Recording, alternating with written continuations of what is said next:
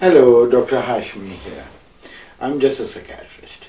This video is about EHCP, Education and Healthcare Plan. It is a part of the series for ADHD throughout life. this video I'm going to talk about EHCP, which is a part of educational system in the UK some countries might not have this system or the system is called with a different name. But the important thing you need to remember is what what it is and what type of assessments you require to produce a document which the teachers, parents and the other healthcare professionals could use in helping and supporting a child and a young person in achieving the best of their abilities. so, if a child and an adolescent has difficulties, any health issues, mental and physical health issues, here in these videos, I'm talking about adult AD, uh, uh, ADHD, attention deficit hyperactivity disorder. So if a child and a young person has ADHD, justifies an assessment. Now assessments are done by either psychiatrist with experience and training in children and adolescent mental health disorders or pediatricians who are fantastic in carrying out these assessments and initiation of treatment. So once the diagnosis is established, even rather before the diagnosis is established, if the child and a, and a young person in a schooling system in the junior and senior schools having problems in concentration and maintaining focus, having problems in task completion, you will see the person is more physically active or mentally active, unable to keep themselves calm either physically or mentally. or you will see actually are disorganized, um, always late, uh, unable to keep time, records, um, unable to understand what's being said to them properly, jumping into con conversations, and some boys in particular are known as the clowns of the class. All these symptoms goes in favor of attention deficit hyperactivity disorder.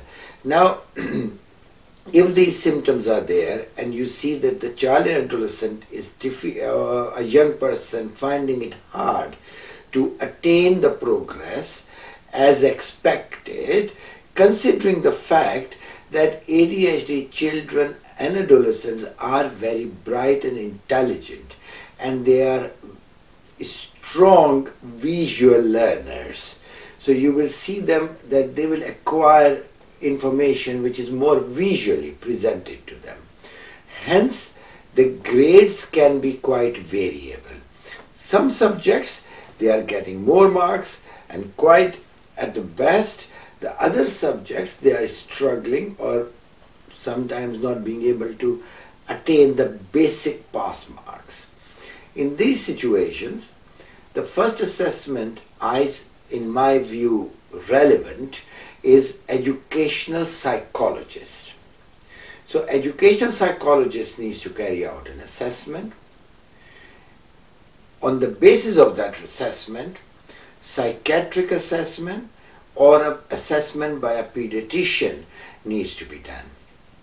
Once the diagnosis is established, you need a series of other assessments which are inclusive of speech and language therapists.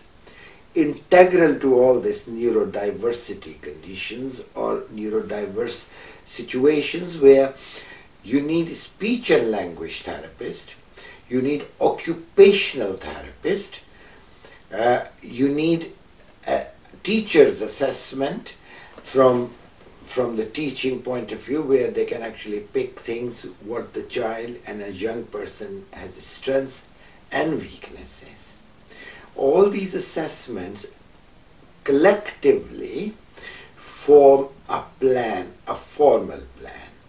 And basically, at one end of the paper, you will see in one column the needs of the child, which the school cannot provide under usual circumstances and require additional support, and then how those plans are going to be achieved, how those needs are going to be addressed, what are the barriers in learning process, how that barriers can be overcome. In simple, in most simplest and the easiest manner, but in a manner which can be measured and assessed and the quality can be established that the child and the young person has taken the next step. So the targets needs to be quite specific, measurable, within the reach of a child and a young person, not to the extent which actually mm, set him for, or her for a failure. Now, if the system is already in place, it's wonderful. If you're watching this video in a country where this system is not in place, then I recommend visit the website. You just need to Google EHCP or Education Healthcare Plan UK and that will take you the website which gives you phenomenal information that how the system works, how that uh, information uh, and, and, and the needs needs to be identified and how the targets needs to be set. You can do it at your own level. In some countries you might have to do it at the family level. You may need to hire the right professionals to do that job. But this, once you have put this plan in place, working alongside teachers and the school staff, you will see gradually the child and a young person start showing progress. If there is a need for medication, accept it. Because medication is there for our need. If there is no need for medication, of course, no doctor is going to prescribe you anything. But if there is a need, please do accept medication for your child. It is going to help especially in uh, ADHD, children and adolescents, if they receive the right medication at the right time, you can see the progress straight away. Simple rule, if you see your child and young person or your struggling in an education system by reason of not being able to fo maintain focus, concentrate, or task complete, disorganized, losing things unnecessarily, always late, unable to keep up with the organ basic organization in their life and in educational activities, suspect ADHD.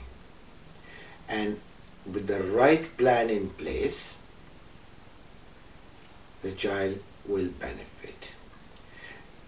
EHCP in the UK brings additional funding to the school and to support that specific individual. There might be a system in place in your countries in different parts of the world. If not, you might have to pick up the bill. But do it for the sake of you will change lives by helping and supporting your children, your uh, young people by over, by helping them overcome their barriers to learn and you will see marvelous progress. So this is EHCP. Next video will be how parents should react to a situation when they see their children, adolescents with possible ADHD symptoms. Thank you. Do you know vitamin D deficiency could cause autism in your newborn? Hence, if you are pregnant, get your vitamin D checked straight away.